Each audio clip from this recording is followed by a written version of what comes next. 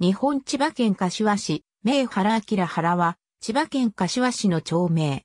現行行政地名は、名現一丁目から名原指定目。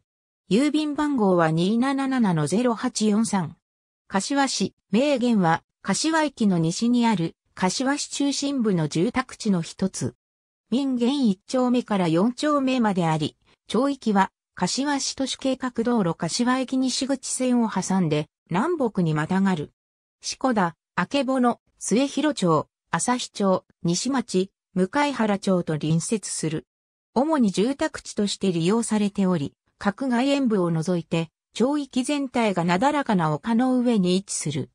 1954年旧柏町が柏市となった際に、大技四股田の小技であった、名則、上、須原、下須原が合併し、大技に昇格した。両地域から一時ずつ取って、名、原町と命名された。当時は、現在の柏市明保の末広町、旭町の柏駅、西口地区全体を含んでいた。1958年1月1日に人口の急増及び行政上の利便性から再度あざ名保の町を分離した。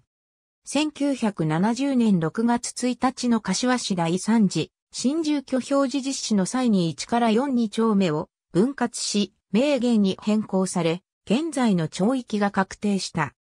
なお、本来は1968年4月1日の柏市第2次新住居表示実施の際に変更予定だったが、柏駅西口再開発の遅れに伴い延期されていた。2017年10月31日現在の世帯数と人口は以下の通りである。私立小中学校に通う場合、学区は以下の通りとなる。柏駅が最も近いため、最寄り駅とされる。公園内には国鉄 D51 形状機機関車の453号機が生態保存されている。ありがとうございます。